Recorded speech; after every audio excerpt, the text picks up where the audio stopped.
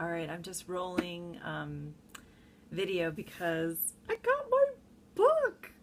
This is crazy. Oh my God. Wow. There it goes. Oh my gosh.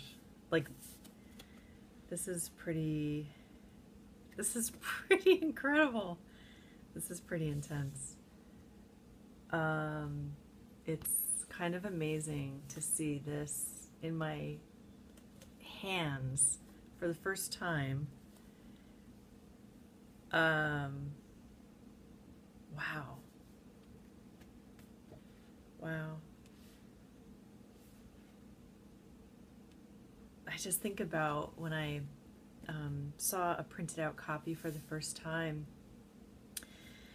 and how much pain was in the pages and now seeing this actually in book form it makes me feel like someone's going to read this and my story. They're not going to feel as alone in doing whatever they might be doing. That's not their true nature but as a function of the pain that they're in and of course, there's vulnerability in sharing my story, but I feel like this was my purpose and my path to do this.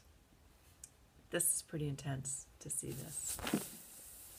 Um, wow.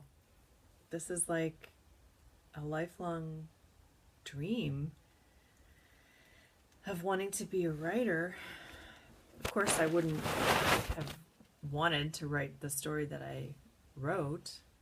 I think the second book I'm going to write like a cheerful, more happy topic because this was from the extreme broken point in my life.